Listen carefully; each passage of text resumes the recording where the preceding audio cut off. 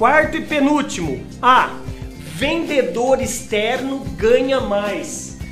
É lógico, tem muitos, pela quantidade de profissionais trabalhando na área externa, você vai encontrar muitos profissionais, representantes de vendas, executivos de negócios, vendedores, é, key account, etc., ganhando muito dinheiro pela comissão, pelo salário fixo, mas isso não é regra.